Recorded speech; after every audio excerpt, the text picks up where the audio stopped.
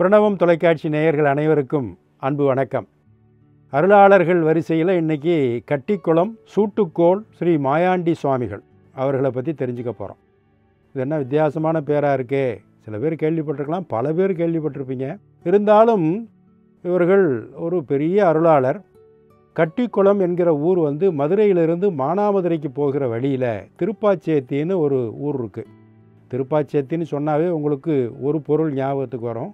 அந்த பொருளை மறந்துடுங்க அந்த ஊருக்கு பக்கத்தில் தெற்கு பகுதியில் ஒரு எட்டு கிலோமீட்டர் தொலைவில் இந்த கட்டி குளம் இருக்கிறது. அந்த பாதை இருக்கிறதே மதுரையிலிருந்து மானாமதுரை போகிற பாதை என்று சொன்னால் அதை நெடும் பாதையாக காட்டினால் அது ராமேஸ்வரத்திற்கு போகிற பாதை.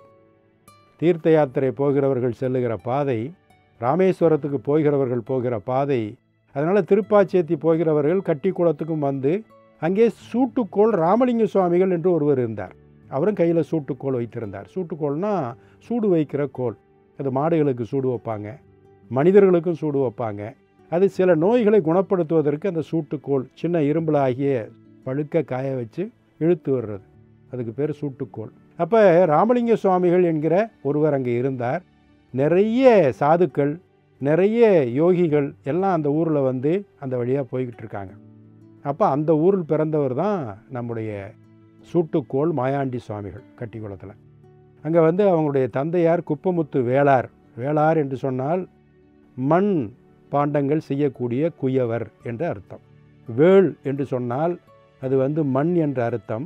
வேளார் என்றால் மண்ணை ஒரு பொருளாக வைத்து தொழில் செய்யக்கூடியவர்கள் வேளார். வேளாளர்னு ஒரு சாதி இருக்குது அது வந்து வேலை மண்ணை ஆள்பவர்கள் வேளாண்மை செய்பவர்கள் வேளாளர். அப்படி ஆகும். இது வேளார் குப்பமுத்து வேளார் கூத்தாயி அம்மாள். இந்த ரெண்டு பேருக்கும் மகனாக மாயாண்டி சுவாமிகள் பிறந்தார். சின்ன வயசில் இருக்கும்போதே அவர்கிட்ட இந்த அருள் திறம் வெளிப்படுகிற தன்மையெல்லாம் எல்லாரும் பார்த்தாங்க. அவர்கிட்ட வழிபாடெல்லாம் செஞ்சாங்க. நீங்கள் நல்லா பார்த்தீங்கன்னா தென்பகுதிகளில் நிறைய தெய்வங்களுக்கு குலதெய்வங்களுக்கெல்லாம் இந்த பூசகர்களாக இருக்கக்கூடியவர்கள் பூசாரியாக இருக்கக்கூடியவங்க இந்த வேளார் இனத்தைச் சேர்ந்தவர்களாக இருப்பாங்க. ஏன்னா இந்த மாதிரி தெய்வ வடிவங்களை எல்லாம் மண்ணில் சுதையில் உருவாக்குகிற பெரிய வேலையை அவங்க தான் செய்வாங்க. உருவாக்கியவர்களே பூஜை செய்வது என்கிற முறையில் அந்த வேளார்.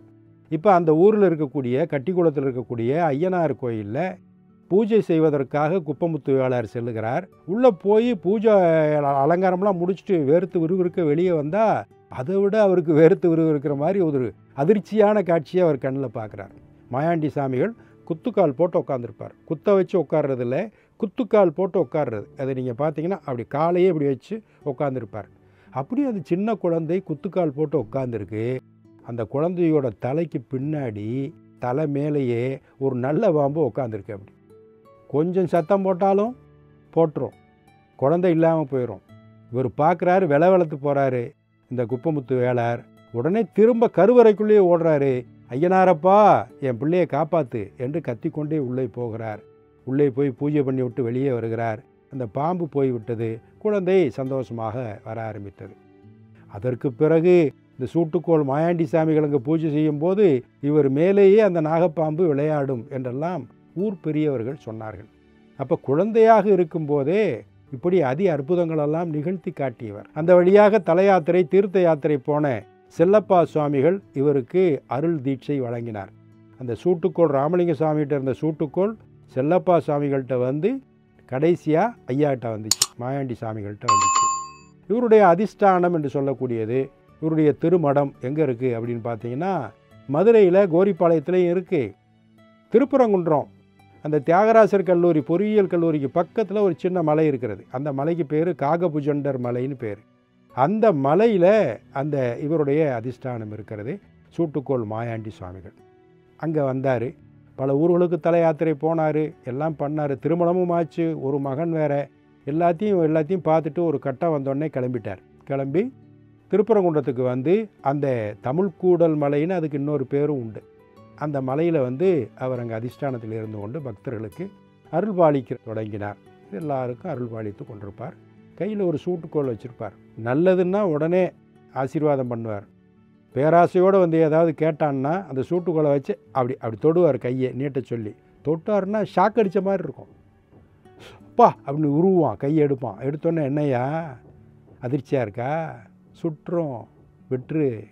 சரியாக போகும்போ உனக்கு அந்த அதிர்ச்சியிலே எல்லாம் சரியாக போகும். ஆசைப்படாத பேராசைப்படாத அப்படின்னு சொல்லி அனுப்பிச்சிடுவார் அந்த மாதிரி பேராசையோடு வருகிறவர்களுக்கு சூட்டுக்கோளில் ஒரு தொடுதல் அந்த தொடுதலே வந்து கரண்ட்டு ஷாக் அடிக்கிற மாதிரி இருக்கும்.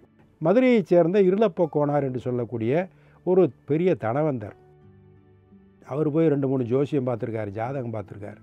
அவருக்கு இருபத்தி ஆறு வயசு நெருங்கிக்கிட்டு இருக்கு. இருபத்தாறு வயசில் உனக்கு உயிர் போயிருமியா அப்படின்னு எல்லாரும் சொல்லிட்டான். ஜாதகம் பார்த்து எல்லாருமே சொல்லிட்டான். அவர் உடனே சரி இங்கே உட்காந்தா தானே பிரச்சனை. காசி வரைக்கும் புண்ணிய யாத்திரை போவோம். எல்லா ஊருக்கும் எங்கே போகுதோ போயிட்டு போகுது உயிர் அப்படின்னு சொல்லி கிளம்பி முதல் முதலாக திருப்பரங்குடத்துக்கு வர்றாரு. இவருடைய அதிஷ்டானத்துக்குள்ளே வந்தோடனே வாயா இருளப்பா அவர் கேட்குறார். மாயாண்டி சுவாமிகள் என்ன ஆயில் வேணுமா? என்று ஒரே ஒரு கேள்வி கேட்கிறார். அவர் கண்ணீரும் கம்பளையுமாக அழுது அவருடைய திருப்பாதங்களில் விழுகிறார். உனக்காக நான் ஏற்றுக்கொள்கிறேன். உனக்கு வர இருக்கிற துன்பங்கள் கஷ்டங்கள் பிரச்சனைகள் எல்லாவற்றையும் நான் ஏற்றுக்கொள்கிறேன். நீ செய்திருக்கிற பாவங்கள் அதனுடைய கழுவாய் எல்லாம் என் மீது சேரட்டும் என்று சொல்லி தனியாக ஒரு மண்டலம் நாற்பத்தெட்டு நாட்கள் இவருக்காக சூட்டுக்கோள் மாயாண்டி சாமிகள் தனித்திருந்து இந்த பிறவி இந்த ஆன்மா இந்த அனுபவிக்க வேண்டிய எல்லா பாவங்களையும் எல்லா துன்பங்களையும் இவர் அனுபவித்தாராம். நாற்பத்தெட்டு நாள் மாயாண்டி சாமிகள் தனியாக இருந்து. அது மட்டும் இல்லை கடைசியாக ஒரு நாள் என்னை முழுமையாக குழி தோண்டி உள்ளே புதைத்து விடுங்கள் என்று சொல்லி முழுமையாக மண்ணை போட்டு மூடி வைத்து கொண்டு அங்கே நிர்வகல்ப சமாதியில் ஒரு நாள் முழுவதும் இருந்து மீண்டும் அவர் வெளியே வந்தார் என்று சொல்லப்படுகிறது. அவர் வெளியே வந்தோடனே இருளப்ப கோணாருக்கு ஆயில் விருத்தியானது என்று சொல்லுகிறார்கள். அப்போ சூட்டுக்கோள் மாயாண்டி சுவாமிகள் இந்த மாதிரி பல அற்புதங்களை நிகழ்த்தி காட்டினார்கள். ஆனந்தமான அற்புதங்கள். அதெல்லாம் வந்து அற்புதங்கள் என்று சொன்னால் வருகிறவர்களுக்கு என்னென்ன தேவையோ அவற்றையெல்லாம் வழங்கக்கூடிய வலிமையும் வல்லமையும் அவர்களிடத்தில் இருந்தது. சூட்டுக்கோள் மாயாண்டி சுவாமிகள் நாகப்பட்டினத்துக்கு ஒரு முறை சென்றிருக்கும்போது அங்கே ஒரு இலக்கிய சொற்பொழிவு நடக்க இருக்கிறது. ஒருவர் பேச வந்திருக்கிறார். அவருடன் ஒரு சிறுவன் அந்த பேச இருக்கிற பெரியவருடைய தம்பி சின்ன பையன் பள்ளியில் படிக்கிற பையன் அவனும் வந்திருக்கிறான் கூட. ரெண்டு பேரும் ஆசி வாங்குவதற்காக மாயாண்டி சாமிகள்கிட்ட வர்றாங்க. அவர் பெரியவரை விட்டுட்டார். இந்த சின்ன பையனை பார்த்து ஏய் பெரிய ஆளாவ. உங்கள் அண்ணனை விட பெரிய பேச்சாளராக காசு கொடுத்து ஒவ்வொருத்தனும் தவம் இருந்து உன்னைய கூப்பிடுவான். நிறைய திருப்பணிகள் நீ செய்வ. இறை திருப்பணிகள் நிறைய செய்வ. என்று ஆசீர்வாதம் செய்தார். அந்த சின்ன பையனுக்கு ஒன்றும் தெரியல இன்னும் புரியலை. ஏதோ சொல்கிறாருன்னு ஆசி வாங்கிட்டு வெளியே வந்தார். அவர் தான் தவ திரு கிருபானந்த சுவாமிகள். திருமுருக கிருபானந்த சுவாமிகள் வந்து சூட்டுக்கோள் மாயாண்டி சுவாமிகள் ஆசி பெற்றவர். அவர் அது பல நேரங்களில் பல மேடைகளில் வாரியார் சுவாமிகளை சொல்லியிருக்கார். அதே போல் மதுரைக்கு பக்கத்தில் ஒரு சிற்றூரில் ராமசாமி என்கிற ஒரு அந்தன பெரியவர் அவர் வீட்டுக்கு திடீர்னு போகிறார் மாயாண்டி சாமிகள் குடும்பத்தில் தம்பதியரை கூப்பிடுகிறார். உங்களுக்கு ஒம்பது பிள்ளையா? பத்தாவது ஒரு பையன் பிறக்க போகிறான் அவனுக்கு சுப்பிரமணியன்னு பேர் வைங்க. அவன் பெரிய ஆளாக வருவான். ஆனால் உங்கள்கிட்ட தங்க மாட்டான். பெரிய ஞானியாக தவசீரனாக மாறுவான் என்று சொல்லிவிட்டு போய்விட்டார். சுப்பிரமணியன் பிறந்தார். சுப்பிரமணியன் என்று பேர் வைத்தார்கள். பின்னாடி அவர் தான் சாந்தானந்த சுவாமிகள் என்கிற பேரும் புகழோடு கந்தாசிரமம் என்று சேலத்தில் நீங்கள் ஊருக்குள்ளே நுழையும் போது அந்த கந்தாசிரமம் இருக்கும் சேலத்தில். அதை அமைத்தவர். அவர் சூட்டுக்கோள் மாயாண்டி சுவாமிகளுடைய திருப்படத்தை அச்சடித்து விநியோகித்து அவருடைய பெருமையை பரப்பி கொண்டிருப்பார். இப்படி பலவித ரூபங்களில் பலவித நன்மைகளை பலவிதமான ஆனந்தத்தை பரப்பிய சூட்டுக்கோள் மாயாண்டி சுவாமிகள் பல ஊர்களுக்கு தலையாத்திரையை சென்று பல நன்மைகளை செய்த ஐயா மாயாண்டி சுவாமிகள் அந்த திருப்பரங்குன்றத்திலே மகாசமாதி அடைந்து இன்றும் அங்கே ஜீவ சமாதியாக எல்லோருக்கும் அருள்வாளித்து கொண்டிருக்கிறார். ஞான வழியில் போகணும்னு ஆசை உள்ளங்க போரும்பா இந்த உலகம் போரும்பா அப்படின்னு ஞான வழியில் போகணும்னு ஆசைப்படுறவங்களுக்கு தமிழ்நாட்டில் சித்தர்களுக்கு ஞான திருஷ்டியில் வந்திருக்கிற அத்தனை இன்ஃபர்மேஷன்ஸ் எல்லாத்த பற்றியும் ஆழமான கம்ப்ளீட் தகவல்கள்.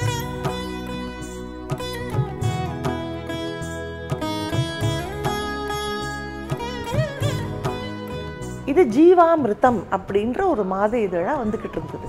இட்ஸ் அன் எக்ஸலண்ட் மேகசின் சந்தா தொடர்புக்கு தொன்னூற்று ஒன்று எழுபத்து ஆறு ஐம்பத்து ஆறு நாற்பத்தி ஏழு இருபத்து மூன்று. சித்தர்கள் கற்றுத்தந்த மருத்துவ முறைகள்.